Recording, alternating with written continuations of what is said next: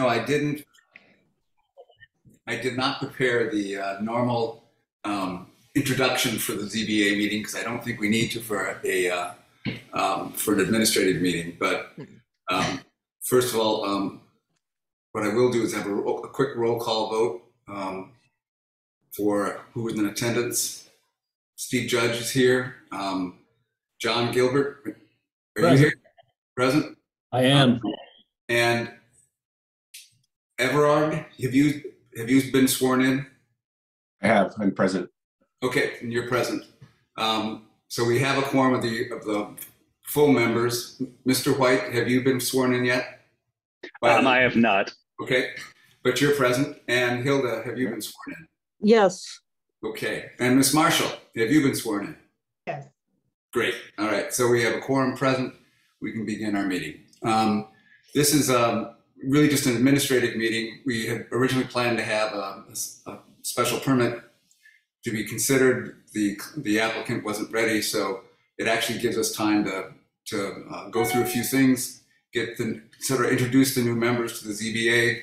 You guys introduce yourselves to us, um, and you can become a little bit start the process of you being familiar uh, with the ZBA process, the, uh, the kind of things we deal with, and the, and the way we do it here at the ZBA. So, first of all, I want to just congratulate um, Philip and Hilda and um, Everard and Sarah for your reselection, and I want to thank you for your willingness to volunteer and help the, serve the town in this manner. So it requires some work, as uh, as you know, Sarah, and as you know, Hilda, you've done this before, and John. Um, it takes some time and effort, and I want to thank you for committing to do that. So that's great. Um, so what I'd like to do tonight is first just give everybody a chance to introduce themselves briefly, so we know just a little bit about each other, so we're familiar. Uh, that includes both Rob and, and Chris. I'm going to ask you to just say a, just a word too about yourselves. Um, and then I just thought I'd go a little bit through the role of the ZBA, your role on the ZBA, um, and then have time for questions if you have them. And so that's really what I would hope to accomplish uh, through this process today. So I'll start. Um, I won't. I won't expect our new members to start off speaking immediately at a meeting, introducing themselves. So this gives you a chance to prepare. Um, I when we retired, my wife and I retired, we knew we wanted to retire to a college town. We thought the civic life, the cultural life, the academic life, the sports, everything of college town were, were attracted to us. Um, and we found life in, in Amherst to be great. And so that's what draw, drew me here to Amherst. And when I got here, I knew I wanted to be involved in the town, and I you know, filled out the form just like you did, and I had a meeting with some staff people in the town. And I found that the ZBA kind of, the role of the ZBA meshed really well with some of my professional, previous professional career. So I applied and, and I became a member of the ZBA, I guess, in 2017, Chris. I think that's right. 2018, something like that, 2017. Um, and I've been on the board ever since. I found it um, enjoyable, interesting, and I think fulfilling. And um, so I hope you feel the same way. So that's my history here on the board. Um, John, you're a, a returning member. Can you tell us just a just do the same kind of thing, a little bit about yourself and what brought you onto the board? Yeah, I think I joined the board in 2021. Uh, is that correct? Yeah, summer 2021. Um, I'm a architect. I worked in Boston for a handful of years, interfaced with the zoning board of appeals out there on a variety of projects. Um, you know, things that myself and the firm I was working for were, uh, you know, bringing to the ZBA. I relocated to Amherst in 2020, uh, September 2020. Um, I was attending UMass for my business degree at Isenberg and um, have since transferred into real estate development. So I'm working as a real estate development project manager for a local com- community development corporation by the name of Wayfinders, based in Springfield. Um, do a lot of uh, mixed income, let's say a lot of affordable and uh, a handful of mixed income projects all across Western Massachusetts. But my desire to get involved with the ZBA out here was just, you know, from my experience professionally out in Boston um, and, you know, wanting to bring some of that expertise that I had seen on the other side of the table, um, you know, out here to uh, to Amherst, to Western Mass, to Amherst in particular, especially with a lot of, you know, new uh, projects sort of popping up for housing, et cetera. So it's been you know pleasurable. Uh, the amount of time that I've been here, I guess it's been two years now, just over two years. So you know, glad to still be here serving, and um, you know, pleasure to meet new members here today. Sarah, you're a returning um, associate member. Can you just give us a brief introduction for yourself? Sure. Um, and a cat may pop up on my desk. No, it's going away. All right. Um, let's see. We moved to Amherst about uh, 11 or 12 years ago. And um, maybe six years ago, I started to uh, volunteer for town boards. I was on the Recreation Commission for quite a while and the Community, Community Preservation Act Commission, chaired that for a few years. Um, this sounded interesting. People in Amherst are very interested um, and or concerned about development and the look of the, the uh, physical environment. Uh, I thought it would be interesting to learn about that. Uh, my husband is an architect. He's on the planning board. Um, so I feel like I've been exposed to a lot of relevant topics, uh, but this has been my chance to learn and it's been really interesting. Thank you, Sarah. Um, now we'll turn to our new members. We'll do the, the full members first. Philip, do you want to go through what brought you here and um, and what you, what interests you about the ZBA? Absolutely. And first of all, thank you guys for having me. Uh, but no, I am from Wilmington, North Carolina.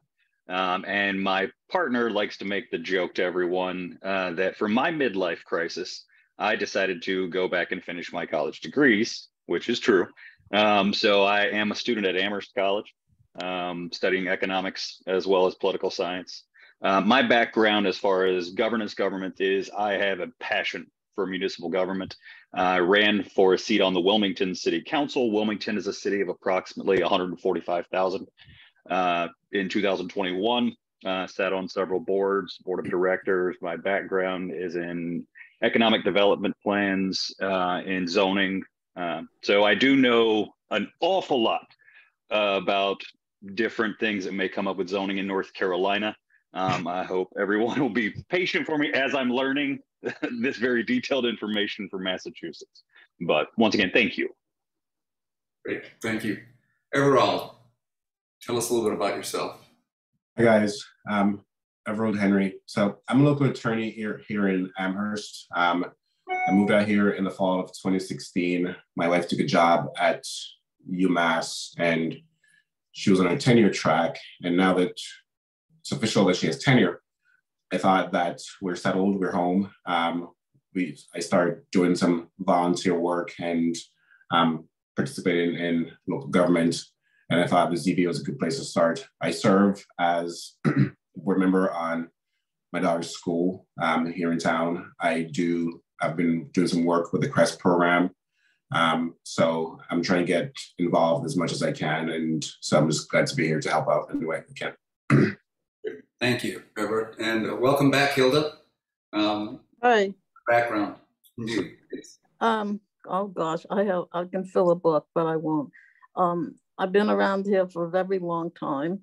And when I well, I guess I got into local history and Connecticut Valley art and decor and architecture, et cetera, through my husband who needed an old house. That was all he could afford when he got tenure. And so uh, I guess I live in a very old house right now and have the joke is, I guess every time I got a part-time job, my husband invested in another old house, which we have quite a few of them that we rent out. And that's supporting me in my retirement. And let's see, when we moved into this house, my neighbor next door recruited me to be a town meeting member in 1975, and I lasted to the bitter end. And let's see, in 19 in the 70s, Lou Hayward appointed me to the trans. He was the then manager, appointed me to the transportation committee. I guess I was the only one on it that didn't have bus service. And then I've been an assessor. I was on zoning board for eight years, starting around 2005, and I have been involved in um, four or five various parts of it, two, two all of it, Strawberry Fields, which doesn't exist, and Olympia Drive. And I've been chair of a few meetings.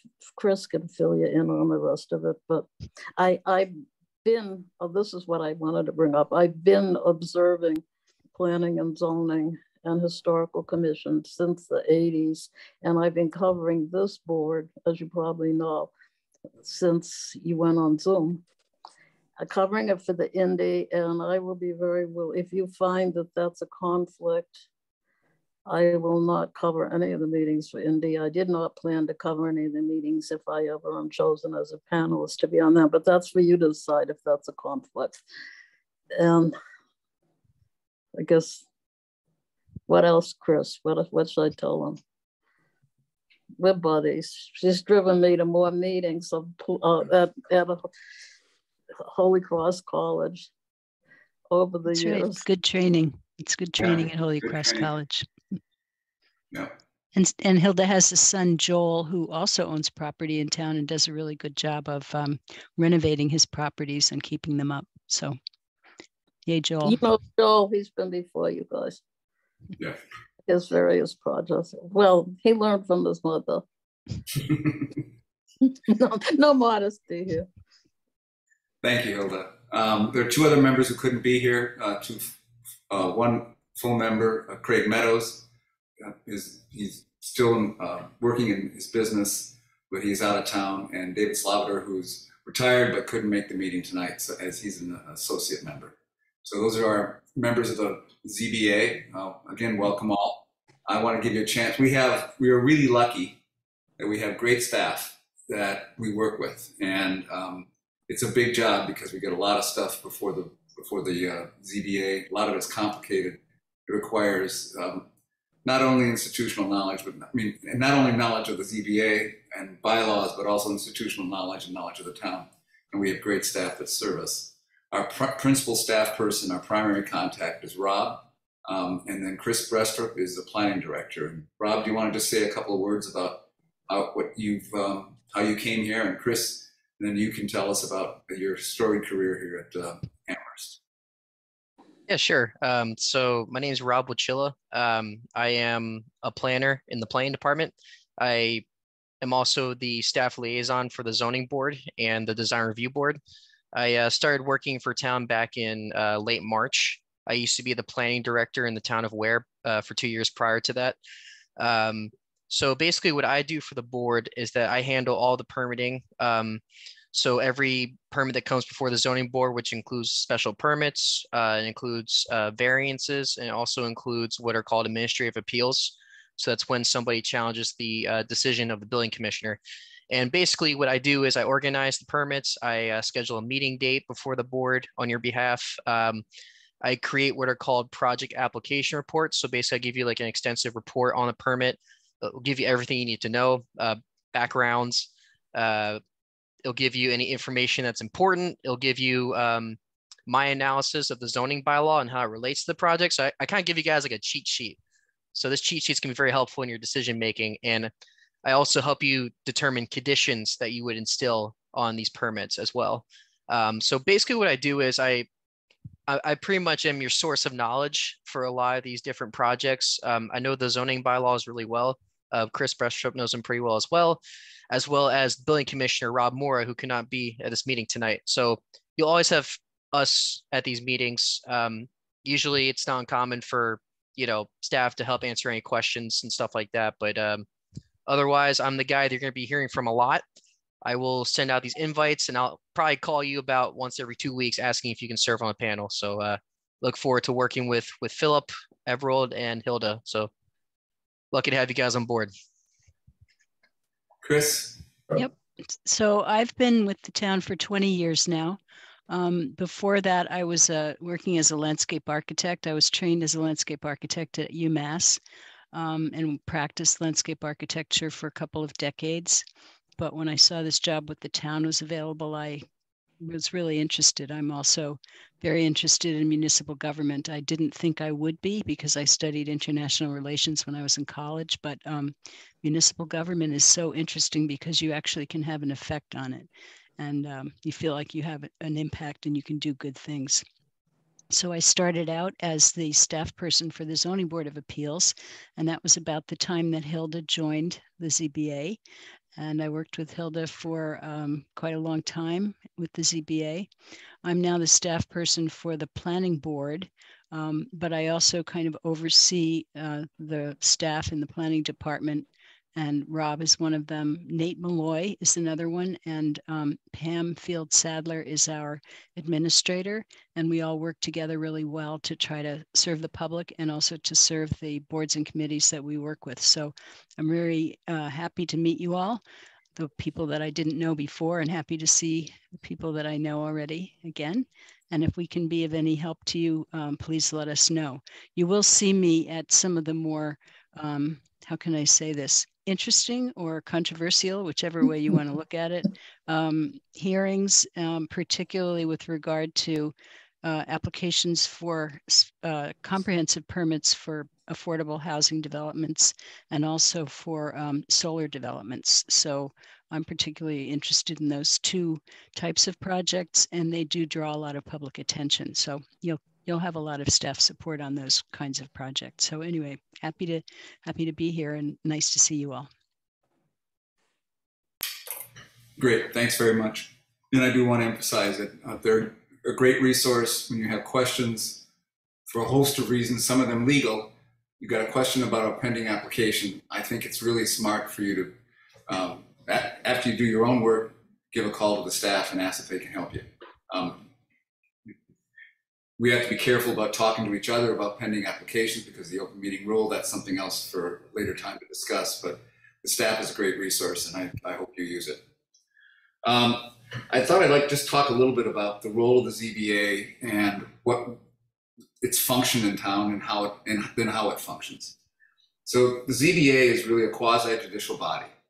Our role is to apply the zoning bylaw, given that we have a certain amount of discretion to make decisions to allow for a special permit or a special, um, a not a variance in the terms of the legal term variance, but to uh, permit something that would not otherwise be permitted but for the special permit being approved.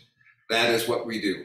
But our our job is to take that take what discretion we have, make the and then follow the rules that set out in the bylaw for us how we can make our decision whether or not to grant a special permit application before us, or a comprehensive permit, or a or a appeal of a ruling of the building commissioner. It's all based on the bylaw, and the bylaw gives us a certain amount of discretion. That discretion is we can use that discretion if we make certain findings, and those findings are laid out in the bylaw. Those findings tend to be, most importantly, in section 10.38.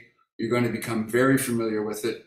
You're also going to become uh, really sick of me reading about those findings that we have to make, but um, that's the nature of the job. Um, and you'll, I think you'll start hearing 10.38 in your sleep at night. But that's that is one section of the zoning bylaw that lays out sort of our our jurisdiction and our, how our how our discretion can be used. Our role is not to make new zoning laws. Our role is not to provide sort of equity, um, fresh fresh equitable decisions that are um, irregardless or not founded in the bylaw. That what took some that was hard for me to understand at first when I first came on board. I thought that was going to be part of the job, and it's not. I've become very comfortable with what the role of the ZBA is, and that it's founded on those, and it's really based on those on the the bylaw and the discretion that we're given to make decisions based on the finding and based on the findings we have to make and based on the the um, the, uh, the bylaw. One of the ways in which we are able to make our findings in cases is that we will consider imposing conditions on a permit application. And that allows us to make the finding that, yes, um, it is not going to disrupt the neighborhood. It's not like trespass, it's not going to happen. It's not going to be noisy. It's not going to work to the detriment of the neighborhood. Um, or it's not going, it's, or it's, even though it's, it's more parking than would otherwise be allowed, it's, it's done in such a way that it won't disrupt the neighborhood. Those are the kinds of things that we do. And if we can't make those, if the conditions that we impose res- resolve a problem or a conflict with the zoning bylaw, we can move on with the with the special permit application. And so the con- the, the conditions themselves, um, while what- what, what I have found is that the conditions themselves allow us to make decisions that we wouldn't, and to grant special permit applications that we otherwise would not be able to grant. We can solve problems for neighborhoods, solve problems for the applicant, solve problems for the town by dealing with these, by dealing with the, imposing a condition on a special permit application that then allows us to make decisions that um, are permitted under the bylaw. So an example of this was a recent, a, a recent um, special permit that involved some parking issues. And those issues dealt with not only light trespass, light trespass to neighborhoods, but we wanted to safely demarcate one, one uh, parking area from a commercial area, a residential parking area from a commercial parking area. And we did that by saying we had to ha- create a buffer of um, light to prevent the trespass of light onto the neighbors. And you have to cleanly demarcate and uh, wall off the residential parking from the commercial parking so you provide a safe um, vehicular and pedestrian traffic in that area. The only way that we could meet those, those are two requirements of the zoning bylaw. The only way we could meet those two requirements was to impose this condition. That was one of several factors that allowed us to make that special permit, to grant that special permit. So conditions and are an important part of the, of the special permit process. And that is how we many times can make our findings.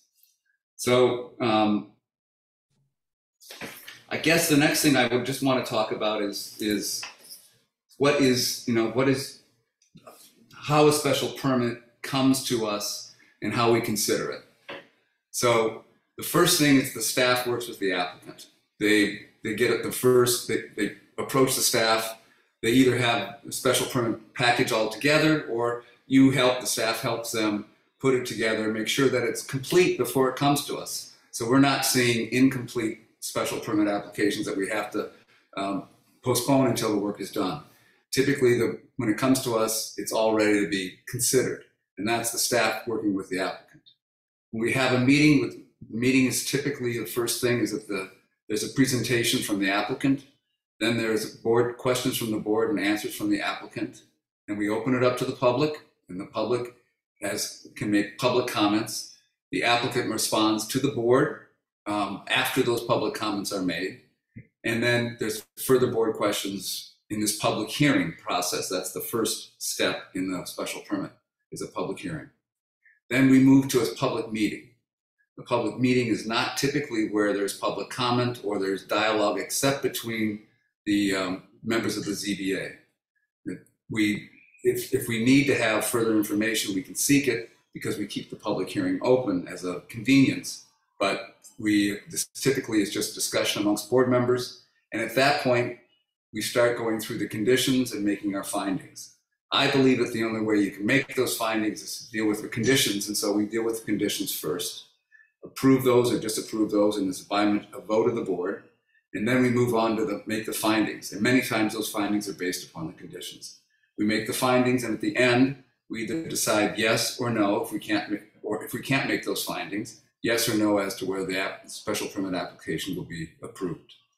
What it comes down to is your ju- many cases you're ju- you're not locked in. It's not a it's not a straitjacket. You have to use your discretion as to in the example I used before. You have to use your discretion as to whether that buffer is going to actually prevent the light trespass from cars onto the next property. That's your decision to make. I mean, there's, there's not a there's not a black or white on that. There's not a science on that in, in many respects. There is not an exact scientific answer. I mean, there is a science to how light trespasses, but but there's not a prescribed answer to whether that's a trespass or not. It's your judgment. So that is where the discretion, your knowledge, your decision making comes in to the role of a, a ZBA member and how it affects the special permit application that you have before you. Um, and the special permits are not, we, we do not, um, there's not a presumption that the special permit will be approved. If the special permit is, is that, it's a, it's a, um, a request to approve something that would, but for that special permit would not be allowed. And there's not a presumption that that special permit will be approved. So the conditions, the findings all have to be made to, to grant the special permit if that is the desire of the board. Uh, I saw Rob, you had your hand up. Did you want to add something? Yeah, so just um, a lot of the times uh, when we're reviewing these applications on your behalf, um, we'll notice simple things that have to be corrected from what they submit to us. So, like if, for example, um, their parking layout is incorrect and not designed to what's allowed in their zoning district or on their lot, uh, we'll suggest that to them. But there's also other things where it's up to the board's, it's up to your discretion, as Steve was saying, for you guys as a board to make a decision on something. So, for example, that could be requiring signage at certain areas on a property, um, or the board discussing how, you know, whether or not a certain building or development is going to impact traffic. You know, those things us as the staff kind of leave up to the board to determine as a group. Um, so I just want to make that. Um, I wanted to bring that up just for consideration. Ms. Marshall? I wanted to say that um, we usually have site visits even before the first hearing, I think, and I have found, found those very helpful um, to, to understand what we're seeing on, on paper and uh, Yes. this- what the specific concerns might be from neighbors or, or, or whatever. It's just, they're, they're- they're tremendously useful. It, I, I think that's a good point. It's really hard to visualize something just on paper, and it's really important. If you get out to the property, you can walk the you can walk the boundaries of the building, you can walk the lot lines. You can see how it's going to affect much easier, and it makes sense to you when you're back looking at the site plan or the drawings that otherwise would not be. It would be hard to make the decisions uh, without that site visit. So uh, I think that's a really good point. I want to kind of stop here for just a second. If anybody had a question or a comment about sort of the you know, the role of the ZBA or the process we go through, I then want to kind of talk about your role in the ZBA and what what I found to be most effective. But uh, I just want to open it up here for questions about either the process or the role of the of the ZBA in town. Okay. I my hand up. You don't see it? Oh, I didn't see it, Hilda. Now, go ahead. Um, one of the things that's bothered me over the years, and it's coming to a head again, is we had some really poorly maintained properties that came before zoning board, you know, I'll say way back when. Near, well, in the 2005, six, sevens, um, they wanted to convert it from one family to two family, and one happened to be on 315 Lincoln Avenue. It had been poorly maintained, needed a lot of window sill work that was rotten, a cellar bulkhead that had the wood was rotten on that. And so one of the things that um, I I decided as a newbie on the board that maybe this should be a requirement that certain things that we listed needed to be fixed within six months. And that was parallel to what was then put in all the time that the landscape had to be maintained in perpetuity. And just, I think that now that this this new rent bylaw is coming on, that maybe we want to do something about sprucing up these properties so that they aren't bad, badly impacting a neighborhood, put it that way. You, you worry about noise and about cars, but I think the maintenance of the property, both the building and the landscaping is important to me. And that's gonna hit the fan this summer when these two bylaws coming. The nuisance bylaw and the rental registration, rental registration bylaw. Thank you. Yep. Um, other comments, questions? I don't always see hands up, so, oh, there's Chris. Go ahead, Ms. Brestrup. Oh, Yeah. I just wanted to say to the new members um, that if you have an opportunity to read the Daily Hampshire Gazette, it's really helpful because it gives you a sense of what the cities and towns around here are like and what they're doing and what their values are and how the community operates and just um, you know if you can get i get the paper copy because i'm old fashioned but it's available online um, through subscription, and it really is a good source of information. So I just wanted to put that out there because, especially for people who are new to town, it could help you to understand how things operate here. Zero. Rob, oh, Everard, go ahead. no I was in in decision making for special permits. Is there a majority requirement, or is it just um, is it unanimous, or is it just majority? It's five, four, five out of, four out of five. Super majority. It's four out of five for, uh, to grant a special permit. Okay. And I, I heard site visits mentioned. do we always do site visits, or is it at our discretion? We almost, uh, most all, I would say eighty-five percent of the time there's a site visit involved. Sometimes there's not, if it's, if it wouldn't add much value to the, but most, most times there are site visits. And we have been doing those site visits. We try to work around your schedule, your work schedule, so that there's one that works and, and it, that will vary with the, the panel that's um, proposed for that specific um, special permit. But that's one of the that's one of the headaches that Rob has to deal with is how do we get um, how do we get everybody available to go to, to a site visit for a special for a specific application. But it's And not a my other- requirement. It's not a requirement that you go to it, right? No, it's not a requirement. Yeah, it's useful, but And, and my other question on that was, do we go together as a group, or do we can we go individually? Well, we we try to have people uh, meet together as a group. That's that's preferable. I think you then um, can hear other questions that other people ask. Um, but I have at times when I can't make that um, when I can't make that site visit, I, I will either go by myself and observe the property, or I'll ask. I'll get Rob to go with me, and so we can walk the property, and the landowner knows that there's somebody there for a site visit, and not some stranger walking around there on his or her land. So um, it's probably, I think it's best, Everald, if we can all get together and, and go to that site visit, but it's not always possible. And sometimes you just go on your own. And do we give the applicants notification that we're doing a site visit, and are they allowed to be there to give us feedback?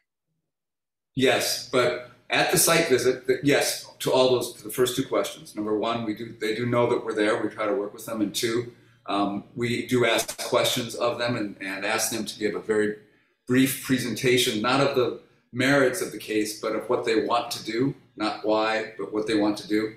And, so we don't, we don't want to litigate the special permit application on the, at the site visit. And every time and we, and we make a list of questions that we ask of at the site visit, and we we um, pre- present those to the at the public hearing, so the public knows the kind of questions we asked and the response we got about it. Um, so there's no sort of information that's not shared to the public at the site visit. But the site visit is really just there to understand the layout and understand the physical changes that are going to be made. It's not really to be there to talk about the relative merits of the application. That's done in the public hearing and then subsequently in the public meeting. Okay. Rob, Uh, so two things, just to add on to the site visit. So basically, you know, when we meet up as a group for these site visits, we can only ask questions. We're not allowed to, you know, have any opinions, deliberate, none of that stuff um, until we get to the public hearing, which you know is advertised legally, and there's a meeting agenda posted for it. Um, and the other thing I wanted to talk about was that there's a lot of resources available to board members and town committees and town boards. So, for example, um, as Chris mentioned, Holy Cross uh, in Worcester, there's a lot of these in person and sometimes on Zoom uh, trainings for local boards, especially those that are planning boards and zoning boards. Um, so you'll have webinars that teach you about the special permit process. They'll teach you about um, variances, all the stuff that zoning board deals with. And if those resources ever become available, of course, you know, us as staff will make them available to you.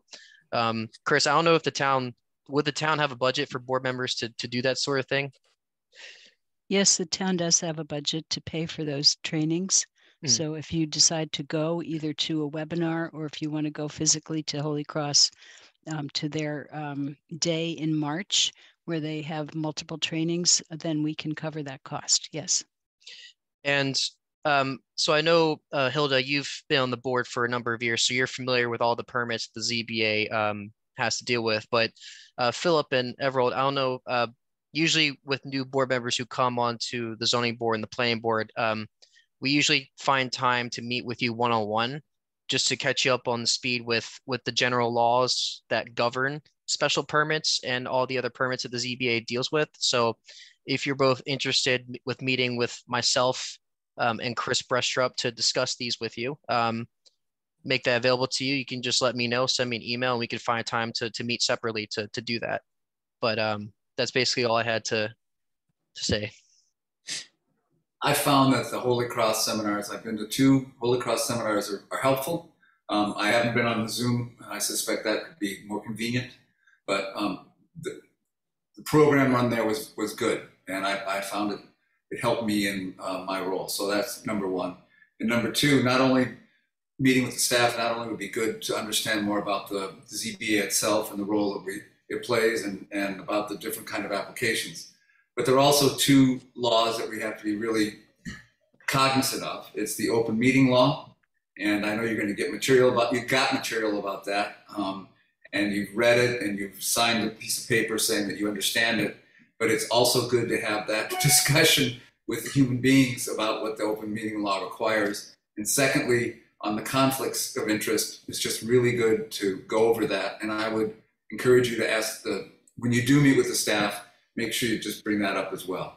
Because that it is sometimes counterintuitive to me to think that we really can't discuss matters outside the public meeting. We can't, and that's really true. We just we cannot do it, and and this it's and so we have to be very cognizant of that amongst ourselves as well as the, when the public comes and talks to you about it.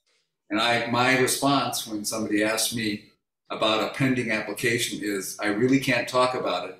And if I did talk about it, I would have to recuse myself from from dealing with if I talked too much about it with you and spoke about my opinion, I'd have to recuse myself, and you don't want me to do that. So you have to really be. Um, I think you have to be cognizant of that, aware of that, and be careful about your comments um, around pending applications. And talking to the staff will help you do that. Hilda. I just wanted to mention that we're supposed to take the test online and get a certificate, which I already did last week. The other two people may not realize. And then there was something else in the letter. I don't, I don't have in front of me, but I didn't know what it was. It's the harassment, anti-harassment. Yeah, yeah, I don't know anything about that. I didn't get any. Is that something I signed when I swore in? I don't remember. I don't, I don't remember seeing anything about anti-harassment, so somebody will enlighten me. Just write to the clerk. And, yeah. You can, Did I, did I did do that when I signed in already? Probably, all right. You may have already, I- I don't think you would have been sworn in if you hadn't completed your paperwork, but um, you may want to double check with, ask. Well, I, I got sworn in and she had me sign a bunch of stuff. I don't know what it was, but I did have to do the course online and send her the certificate. Great. And, uh, and Philip, you won't be able to participate until you actually are sworn in. So um, when you get it, let us know. I mean, as soon as you can, it's better than later, but let us know. How long? do you Yeah, the, oh, oh, sorry to interrupt. Uh, no, the issue um, that I'm facing is I was unaware that the appointment would be uh, quick that quick of a turnaround. So I am actually in North Carolina for the summer. Uh, so since the COVID protocols are not in place, I cannot be sworn in until I am physically back present in Amherst, which will be late August. Um, so until then, obviously, I'm unable to vote, and I apologize uh, to the board for that. But literally, the day after, or the day that I get back into Amherst, I will get it done. All right, great. Thank you. So I'd like to just talk briefly about um, your role as ZBA member and what the kind of things I think are important. Um, in- first off, we meet twice a, approximately normally twice a month. Um, you've got the site. You may have a one or two site visits for that meeting. Um, there are Thursday nights uh, from six, we hope six to nine. We try to keep that nine o'clock time as um, firm as possible. Sometimes we go over, and I will use my discretion if I think we're close to a decision and it's you know going to put us at 9:15 or 9:20. I'll keep going and we'll get it done. Um, also, if I if if it's clear that we're not going to get we're not going to be able to resolve the next item on the agenda, uh, and it's 8:30 at night, we're not going to start it. We probably don't start it up. Uh, It's just the first one took too long, so I'm going to use my discretion on that. But my goal is to be done by nine o'clock. Three hours of a meeting at night, I think, is long enough, and after that, I'm not sure that we all make a lot of sense. So. Um, by that time, I'm hungry anyway. So um, that tends to be what we do. Um, site visits are important. I encourage you to do that as much as possible, and when you can. And if you can't, work with Rob to try to make sure that you can drive past the property or walk the property on your own. I think the one, the kind of the overriding thing I think is important as a member is that it's. I think it's important to remember that when a applicant appears before the ZBA, it may be the most consequential interaction that person will have with town government that in his whole life and his or her life in town. It can be about their home, it can be about their business, the future of their business, it can be about their neighborhood. It is really important stuff for most people when they appear to us, before us. And I think that it's really important for us to be cognizant of that and to be respectful of that and try to show number one, that is a fair process, that we've deliberated, we have done our, our work to understand the, the, the, how the bylaw applies in the specific case, understand the desires and the request of the applicant, the public commenters, that they seem that, that the process seems to be fair to them and that it is done in a way with full knowledge and full transparency. And I think that's really important because that gives us that maintains the legitimacy of the ZBA, the town in general too, but it maintains the legitimacy of the ZBA that people think they got a fair shake, and that and that I think is what's really important. That's the most important role I think you have is to do that, and I think you do that by being a diligent, hardworking member. And I'm convinced, I know that my members that have all been that way. I appreciate every one of them, and I'm sure that you guys, our new members, will do the same. But I think that is really what's important is that you're. And so, how do you become a diligent and dedicated member?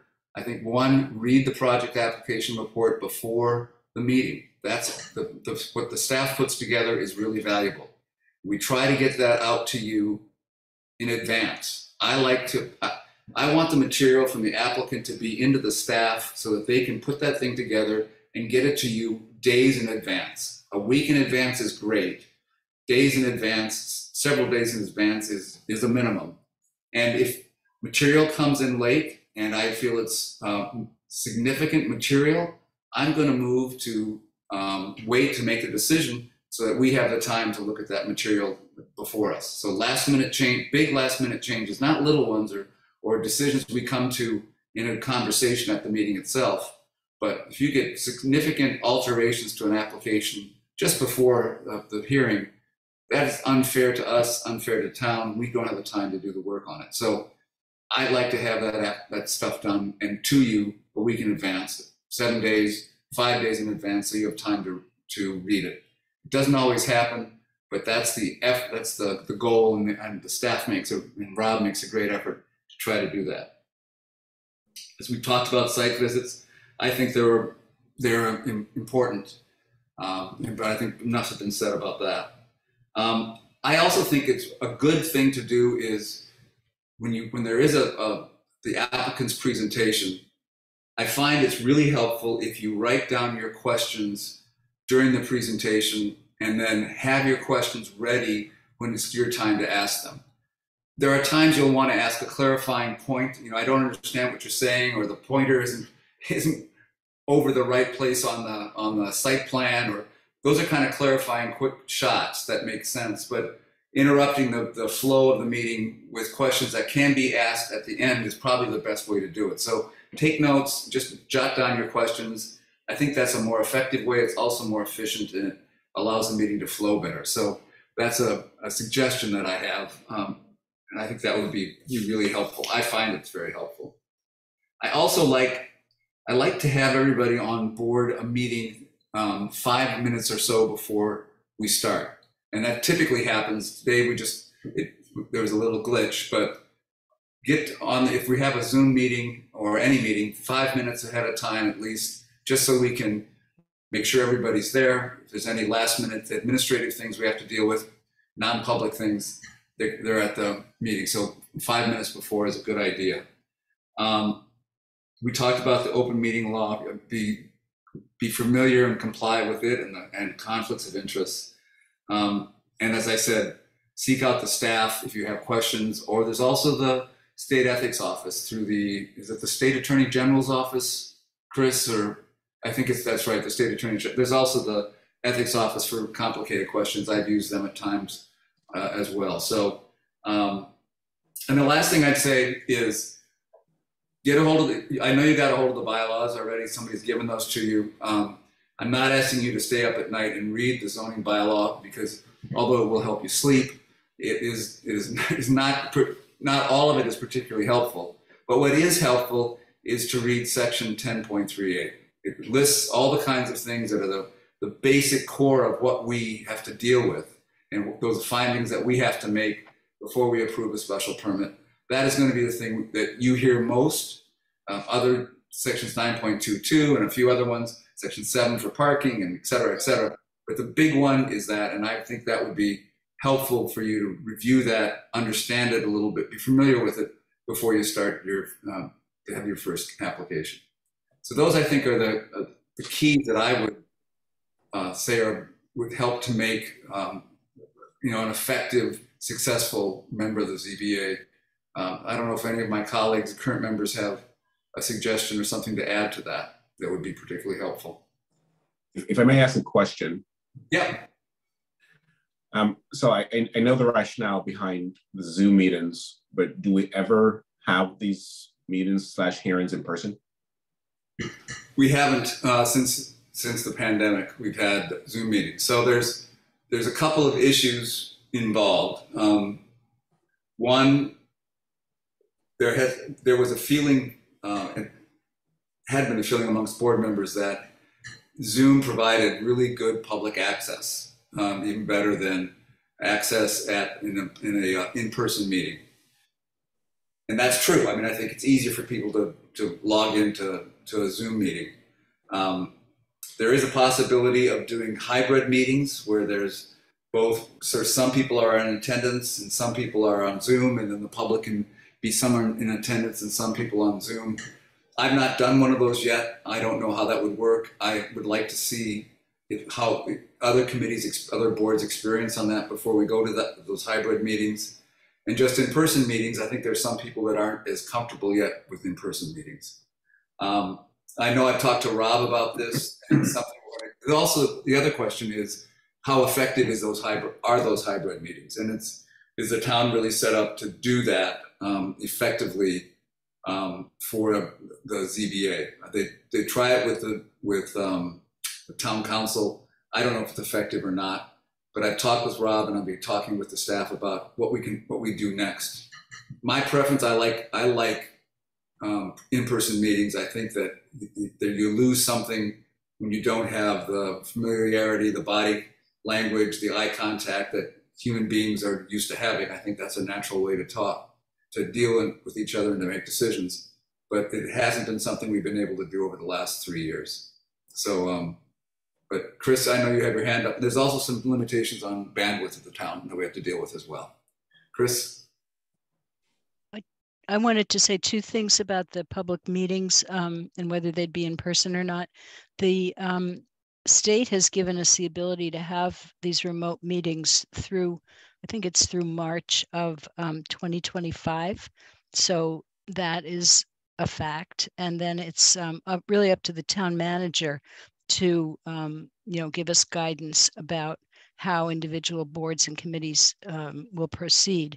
But one shortcoming we have is that um, we have limited staff available, and um, some boards and committees can operate um, a remote meeting by themselves. They've been trained or their staff has been trained to do that, but others haven't. So um, it does, you know, uh, require IT to get involved. And, and that's one of the reasons why the town manager has been reluctant to say, you know, the door is open to um, hybrid meetings. But I believe that he's going to give us some guidance sometime in September about how we'll be moving forward after the summer. So we can look forward to hearing about that. The other thing I wanted to mention doesn't have anything to do with hybrid or in-person meetings, but I wanted to let you know, and this is something that I heard when I first came to work here, everything we do in writing is public. It's a public document. So consider that whenever you send an email um, and make sure that it is in language that you wouldn't be embarrassed to see, you know, on the front page of the paper the next day or the next week, um, because it's possible that somebody could make a public records request and your email would be would have to be um, put forward. So just keep that in mind. Um, if you have something that's particularly sensitive that you want to talk about, you can pick up the phone and you know call one of the staff people, or I think you could probably call Steve also because he's the chair. Um, you wouldn't want to have a group of you know several of you doing that, but if I think if one person had something that he was really concerned about, he could call Steve or the staff to discuss it and figure out how to how to work with it. But um, you know, I just wanted to give you that guidance. Don't put anything in writing that you don't want to be public the next day. Okay, thanks. That's really good advice. Ms. Marshall. Um, just one thing about the Zoom, I, I don't, I don't know if it's important for us, but it is certainly a great convenience to many of the applicants who may live, they live in Texas. The property owner lives in Texas and the landscape architect is in Boston. And it is easy for them to attend the meeting, obviously, and cheaper um, to just do that by Zoom.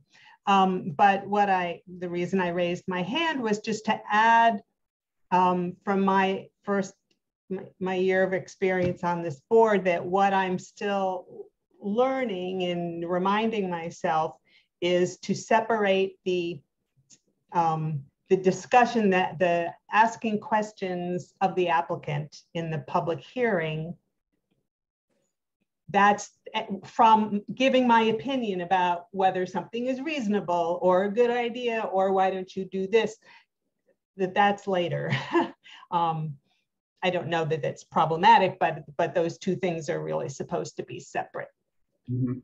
so. thank you sarah um, Ms. Greenbaum. I just was wondering if it might be more effective when we have the training on the 40B, that that be in person? Because I think that's going to be hard to do on Zoom. But I haven't experienced anything like that on Zoom, so it may work out okay. I just thought that that might be, since it's not something the public would really be interested in watching. Uh, you know, I, I think I think we do have to have that as a public meeting, um, and I think it's and there may not be much attendance to it, but I think it has to be. Uh, we would be convening all of us together for the 40B training. So I'm not I'm not sure that um, Rob. Oh, I was going to add on to that. Uh, so um, the law firm that we work with, who's going to be doing the 40B trainings for us, they're based out of Boston and usually it's hard for them to get out here to attend a night meeting if it were in person. So the Zoom is really con- the Zoom is really convenient for them as well, and they can like screen share and show us a presentation and whatnot. Um, Steve, I don't know if you did you want me to go over like any like upcoming projects, or do you want me to wait till later to to bring yeah. that up? Well, yeah, we will go over that in just a second, though, Rob. Okay. Yep. Mm-hmm. I just want to give anybody else a chance to either ask questions like Everald did about um, Zoom or the process or anything before we go into kind of what's, what's coming up next?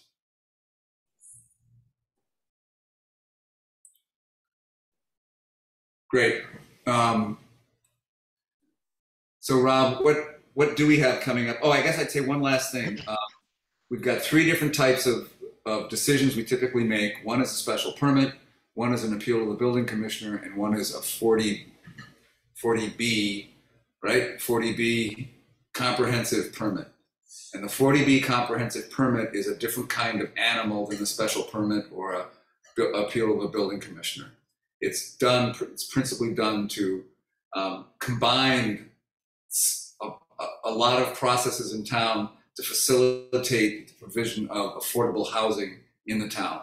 And certain, some requirements are lifted or eased, but the de- deliberation process for us is longer and harder it's much more complex uh, issues to discuss. We've had a couple of these in the last few years. We've got a couple coming up. Um, and I think, and the, the staff has referenced, and it's a really good idea that we will have some training on 40B. It's not something you do very often. Um, I've done one in my term as chair, and um, there was one previously um, in the one I did as chair was the affordable housing on um, um, Route 9 on in uh, a couple years ago. Also, there was a comprehensive permit. I think the uh, the, the Mill District housing was a comprehensive permit, was it not? Yes. So Yes. it's not something that's done often, but it's time consuming, complex, and it, it provides some real benefit in terms of affordable housing. And so when they do to the training for that, that's going to be really important that all members um, be participate in that um, in that training process. I So, would uh, like- I was just like gonna add that that's very important because Strawberry Fields went through three different chairs and had to start over each time. So a lot of people had a chance to serve on that one. And and then it turned out that, that the town bought it when it went bankrupt, so it didn't happen, but I learned a lot on that one. all right, what do we have coming up, Rob?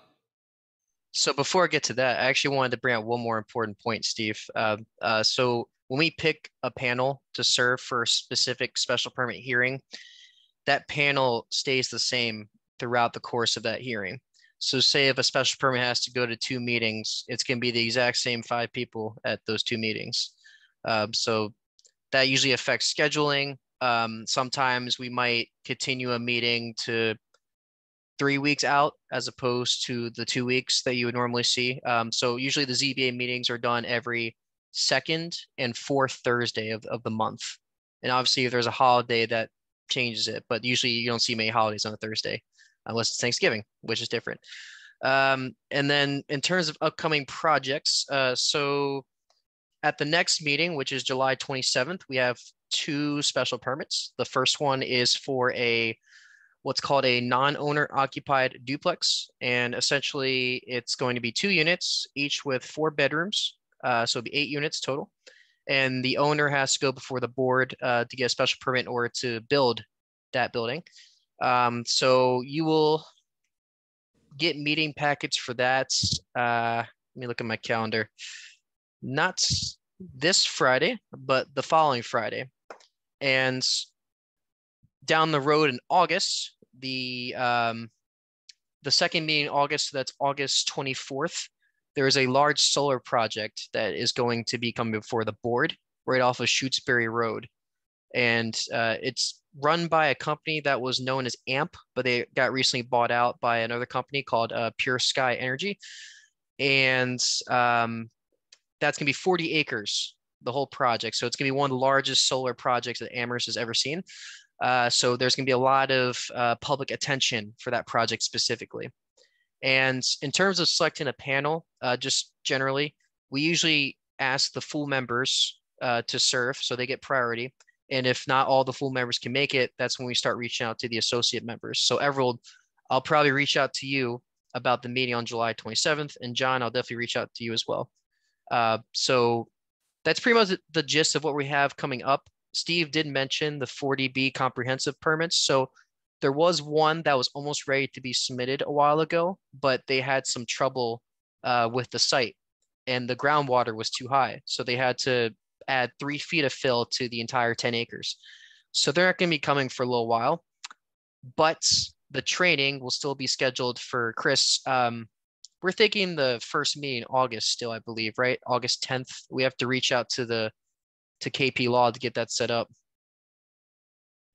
Take that as a yes. You're shaking your head, yes. Um, so that's what's looking like for the next two or three meetings. Uh, we're going to have three special permit hearings. Um, we're going to have that training first meeting in August, and that's pretty much it for the for the near future. All right. Any questions from you guys, from new members, comments from old members, questions? Any further? Yeah, Hilda, does Rob send out the packet to just the five members that are serving, or does everybody get it? In case they have to serve at the last minute? So uh, usually I give them to the members who are serving. Um, obviously, if there's an emergency right before the meeting, um, I'll definitely send or give the packet to that member who has to fill in as soon as possible. Um, the way it works is with the zoning board, and I don't know if it's always been done this way because I've been here since March, but uh, I deliver the packets to each of you um, and just leave them on your front doorstep um, to make it convenient. Uh, I don't know if the board still wants me to do that. Steve, you could probably answer that question. Um, I think it's but- really helpful. I mean, Yeah. I, I know what happens if, if you complete the packet on Friday and you put it in the mail, Mm. uh, you know, the best will be Monday. Um, so it's really helpful to have it delivered to them if you can, Rob. Um, Yeah. You know, if you if you complete the packet work on Tuesday and you have a couple of days to get it in the mail to, so that everybody receives it on Friday, that's okay too. But that doesn't tend to happen very often. gives me an excuse to leave early, so uh, can't complain about that. Uh, but yes, that's usually what we do. We make sure you guys have at least six days to review everything, so you're prepared for when the meeting comes. These packets usually contain the meeting agenda, the minutes from the last meeting, and then everything that pertains to the project, whether it's materials they submitted, um, the plans they give, pretty much everything that that you'll have. Yeah. I got two more things. One is that the telephone number on the the sheet that was sent around is not the telephone that I usually answer. Mhm. Because it's my landline and it's usually spam and it's in the other room. And so I sent Rob my cell phone number and, and it looked like the same issue with everybody, that it was the same landline phone for both columns. If that's not the phone line people want to be called on, they may want to fix it. And then the second thing I want to say, what do you think about my still covering the meetings for the Amherst Indy? You don't have to answer it now, but think about it. And Steve, let me know what you think. I will. I'll talk to uh, the town clerk as well. Um, and, but I, I will get back. can't be the conflict form, but it's not really uh, something that I can claim because I don't get money for it. It's, it's volunteer. Yeah, I'll, I'll give it, I will give it some thought, Hilda. Um, and I'll get back to you right away. Yeah, people read it. They really do. Um, Ms. Brestrup, So I just wanted to say that I believe that Rob is putting all of the packet materials online so that the public can read it as well. So um, that's another way that you can look at it. If you don't happen to have your paper packet with you and you're in, in an airport and you're bored, you could go online and look at it. It's just Or- hard to read plans. That's all on an iPad. You Or can if you're- also not, not in panel for that, um, meeting, you'd be able to access the material that way as well. And you can easily get that material by going on the ZBA's webpage on the town website. And then there's a little tab that says uh, meeting packets. And if you click on it, it takes you to everything. Easily access it. Yep, everything's there. And one other thing that people should know is that these meetings are all recorded. Mhm. And we often have people who tune in and watch the meeting while it's happening.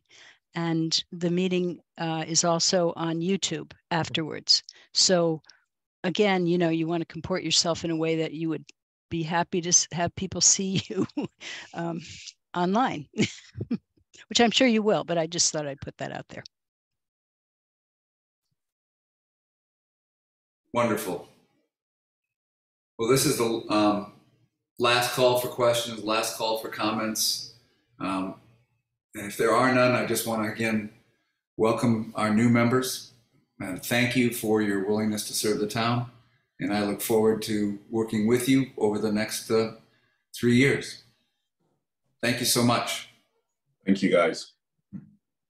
Thank you. Thank you, Steve. So we're adjourned.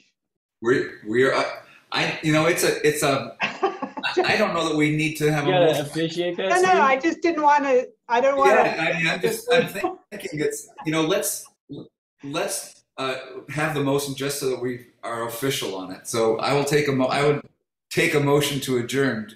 Is there one? So moved, so moved. Well, and, and I that's a, I appreciate that Hilda, but right now only the uh, the full members Oh, can, okay, can do that. I forgot. yeah. Uh, so uh, John. Second, moved. So it's and we got a Sarah moved it. John seconded it. Did you? No, I'm an associate. I can't. you can't do it. Who who did you You second? need Everald or yourself. Yeah, Everald, you have to do it. move, move to adjourn. I, I, I move to adjourn this meeting of the ZBA. There we go. And John seconded that. Uh, there's no debate on this motion, uh, so it's a roll call vote. Chair votes aye. Mr. Gilbert, Aye. Mr. Henry. Aye. All right, motion carries. We are adjourned. All right, and Sarah, you've been you've been on so many panels. I just by tradition, I voted. I said she, she must be the person to do that. Well, Yep. I, I I forget. I also, like Hilda, I forget. Yep. So Anyway, right. okay, good night, everybody. Good night. Yes, See you all. be on Thank the panel, that's why. She should be on there, but I don't want to go there. All right. Have a good night, guys.